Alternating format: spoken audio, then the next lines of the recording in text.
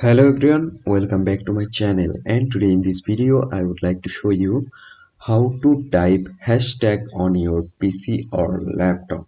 So let's begin our video. How can you type hashtag on your pc so for that you need to press your shift key also press 3 press your shift key also press 3 then you can see hashtag already or hash already typed on your PC or laptop.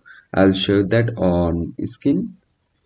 Just open my on screen keyboard and then what should you do? You just need to press shift key then press 3 then you can see hashtag already typed just press shift also 3 then you can see hashtag already typed. So guys in this way you can type hashtag on your pc or laptop very easily.